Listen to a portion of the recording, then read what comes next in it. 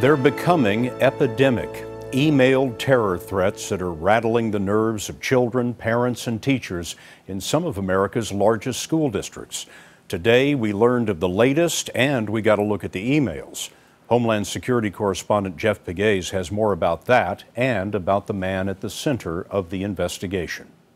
The list of school districts receiving the threatening emails includes Los Angeles, New York, Miami, Houston, Dallas, and now Clark County in Nevada. The district, which includes Las Vegas schools, received the emails yesterday, and officials determined they were a hoax.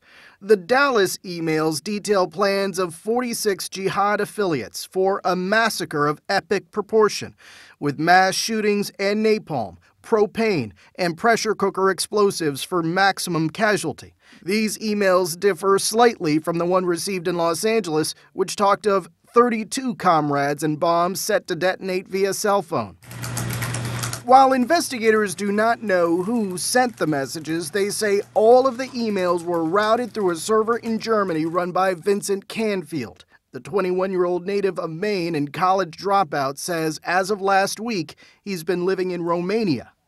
Canfield received this subpoena from New York City police, which was followed by a call with a detective, which Canfield recorded. The I'm reason we get three days to respond is because of the severity of it. I, I do understand the severity of it. There's some stuff that I don't understand in the subpoena, and I'd like to understand it before I, I follow through.